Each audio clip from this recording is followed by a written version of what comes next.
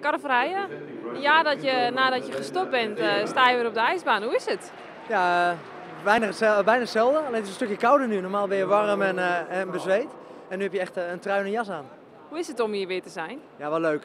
ik heb contact ook wel gehouden. Ik ben al twee keer eerder geweest en ook van de week nog een keer bij de training wezen kijken. Dus ja, het is 14, 15 jaar je leven geweest. Dus dat ga je ook niet zomaar weggooien. Heb je zin om zelf je schaatsen onder te binden? Uh, wel om te schaatsen, maar om echt uh, weer af te moeten zien en uh, de competitie aan te gaan, nee, dat is echt wel voorbij. Dus we hebben mooi af, echt afstand genomen van het schaatsen en het is mooi geweest zo. Waarom heb je eigenlijk geen zin meer? mis je iets? je mist een doel. Je mist echt een, een, ultiem doel waar je nog helemaal voor kan gaan. En dat was er vorig jaar wel. En daardoor ja, ga je elke training ga je met plezier het ijs op en kan je heel veel aan. Ja, en als dat doel wegvalt, dan hoeft het ook niet meer. En dan merk je ook gewoon dat dat dan ja, klaar is eigenlijk. En hoe ga je hier zo meteen op de tribune zitten? Fans eh, van je oude ploeggenoten?